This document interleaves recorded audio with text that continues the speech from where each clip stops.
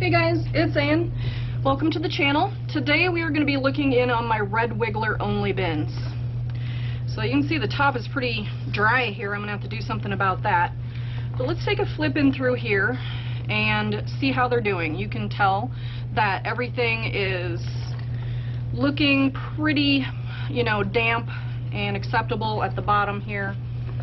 Uh, these worms all uh, stem from the same 500 cocoons that I got from Emily uh, in 2019. So I've been purposely trying to expand my herd of just red wigglers lately. So I have started busting them out into additional bins to see if I can purposely do that. Now everybody's been getting some pumpkin treats lately. So let's see what they are doing here. I think I feel the pumpkin all the way to the bottom here. So let's see what we've got. Looks like they're making some good castings. And we definitely have a good worm ball. They have made very good use of that pumpkin. So that's a nice worm ball and uh, they all appear to be very happy. Got a lot of different sizes here. Um, look like got some good size ones as well as babies. I think we transferred about uh, a pound and a bit maybe to this bin the last time. So this is the first time that we've we've looked in on this bin. So let me there's not really much there, but we'll put Humpty Dumpty back together again. Now this bin is just run using my normal prepared bedding, which is probably about 75 to 80% shredded cardboard and paper. Um, and in addition to that, there is also a big handful. I make it in 40 gallon tubs and there's a big handful of coconut coir that goes in there as well as you can see that there's a lot of ground eggshell in here. When I'm preparing the bedding to let it sit for a week or so, I will put in some um, kelp meal and usually some sort of a sugar. Uh, in my case, I usually use molasses. And the water and then some worm castings from the same kind of worm.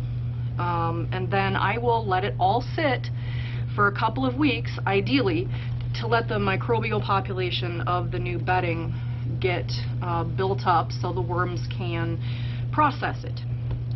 So that is what you're seeing here is the bedding, is, is that prepared bedding.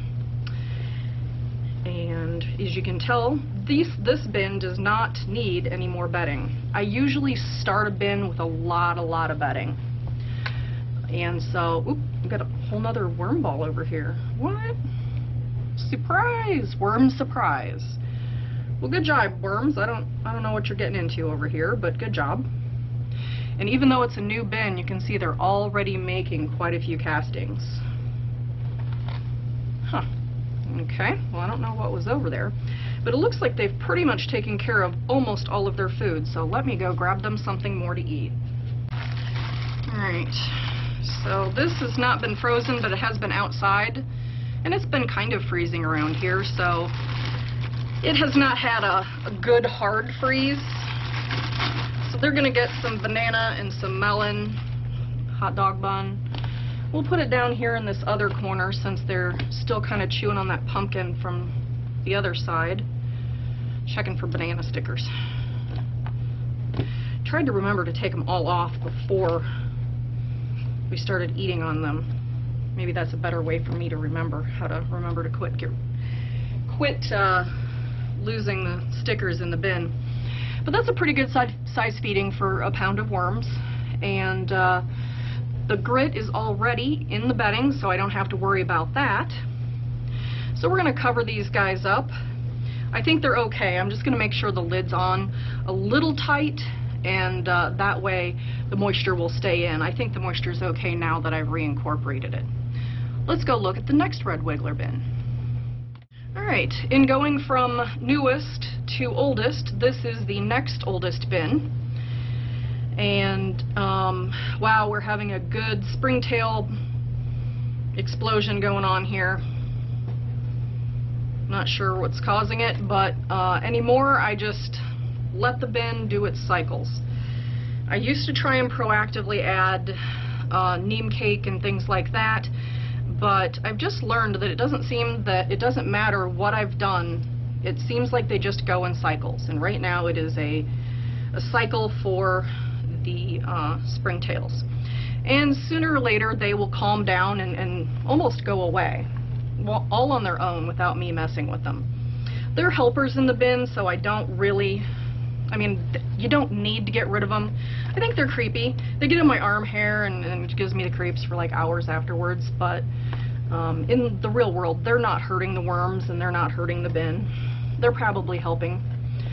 Uh, so I'm just gonna, my policy now on bin critters that are not harmful to worms, I'm gonna leave them. I mean, if it turns out to be a, a slug or some big thing like that that's gonna hurt my plants later, then I'm going to get rid of it. But if they're not harmful to the plants or the worms, I'm going to leave them. So I'm just going to keep digging around here to see if I can find anything. I found a little concentration here on what is either a melon or a pumpkin skin. Not a pro uh, well, there's the seed, so it's got to be a melon. Keep flipping through here. So you can tell this is much farther along you can still see the bedding, but it is definitely on its way to being degraded. So I think we might have missed the worm ball that I don't remember feeding anything other than a handful of melon.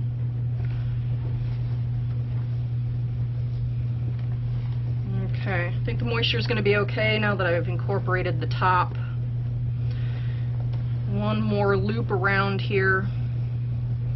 My bins are always run kind of full all the time. Um, it's just how I do it. I find works for me. So that's how I do it. Alright, well, let's get them a little bit of food here. And there is also about a pound of worms in here. This was split off from the original bin too, with, with about a, a pound of worms. So they're going to get the rest of that melon, and I guess that's that's pretty much all they're going to get is just melon. Uh, when we come back, there's probably going to be some sprouts. Um, and again, the grit is in with the bedding, so I'm not going to add any more of that. And we'll cover them up. Put them back on the shelf, and I'll go get the oldest of the three red wiggler only bins. Okay, here's the oldest one. You can see I've got some sprouts growing here from something. The worms have uh, ejected a sticker. Thank you, worms, for helping me out when I'm not doing a good job. We've also got a springtail business going on here. Seeing quite a few cocoons. So they are happy and reproducing more cocoons. Oh geez, look.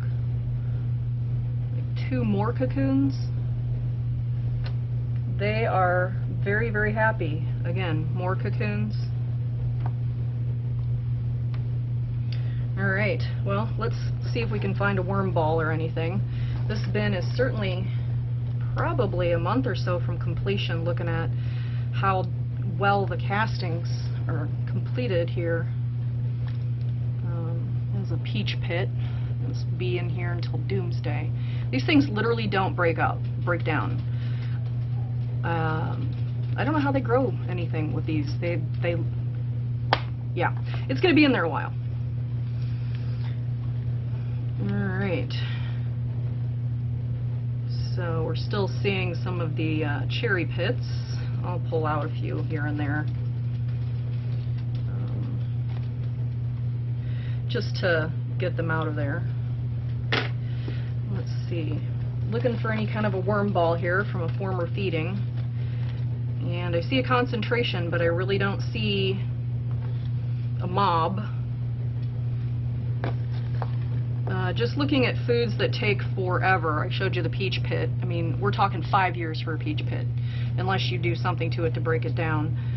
Peanut shells and other kind of nut shells, um, like pistachio and stuff, probably about a year to get them the uh, apple, or not apple, banana stem that the bananas come all attached to, that probably takes three or four months minimum, depending upon how big it is. Um, this is actually an avocado shell or peel or whatever you want to call it, and you're probably looking at four or five months for that as well. The pits from the avocado, probably six months to a year to get them completely um, broken down. Let's see. Oh, kiwi. It kind of desiccated. Weird. But yeah, once they decide to eat the avocado here, um, it'll turn red on the inside. And then after it starts turning red, then you know it's ready to roll. And it'll be broke down in a month or so. So there's the, the shell of the kiwi skin. This is a mango. And it actually, it's probably similar to an avocado where you're looking at about six months. And I can't tell if they're playing in the fibers or if they're actually in there. No, I think they're just playing in the fibers. They seem to enjoy fibrous things. Um, it, it's weird I say the word enjoy, but I don't know what they're doing in there if they don't enjoy it. It's, there's got to be some reason for it. If you give them burlap or something like that, they weave themselves in and out of it, and t-shirts and stuff like that. I don't know if they enjoy it or if it simulates something natural that they would come across that's interesting to play with. Um, so I'm just going to call it something to play with. So there's probably close to two pounds of worms in here, maybe more. You know, I only count them when I harvest, and so I think probably a couple pounds. You can tell they're pretty well distributed. I could probably split this bin again. Um, we'll think about that. I don't. I already have a lot of bins, a lot, a lot of bins. And thanks to CC, I have a, a lot of spare food also for them. So that works uh, for my system. But yeah, I think all the slow foods, I'm just going to lob them all together so I can see what's going on there. But then we can give them some new food, and I'll put that in a different pocket so we can tell uh, where we fed. All right, let me get them some food.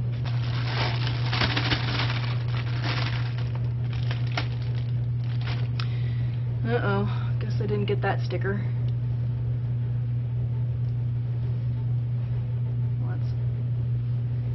See, now that one seems like it's kind of, I'll leave it in there, see if it doesn't break down. Those were organic bananas, so maybe they have organic stickers. I don't know. All right, so that's what they're going to get. A bunch of tea bags, bananas, and I think another hot dog bun. All right, and then we're going to cover them up. So if you have any questions about the red wigglers or my worm bins or my wormery or anything, feel free to put that in the comments below. And uh, any comments, I also like to read all of the, the comments and I respond um, when I can, but usually pretty quickly to anybody's questions they have for their own worm bin if they have problems. Try to help be a resource for new worm farmers as uh, some of the people in the worm community were good resources for me uh, when I was starting out. But if you like this, I have a whole playlist of the Red Wiggler only bins, and I can link that in the end screen, or I can put a, you know, a little pop-up here if you want to look at the latest video of this to see what the feeding looked like before um, and see what the wigglers have been doing. If you like this video, give it a muddy thumbs up. If you're not a member of my worm family, click that subscribe button. And if you want to know what I'm doing when I'm doing it, ring that bell icon. Alright guys, thanks for hanging out with me and my worms, and everybody, have a good day.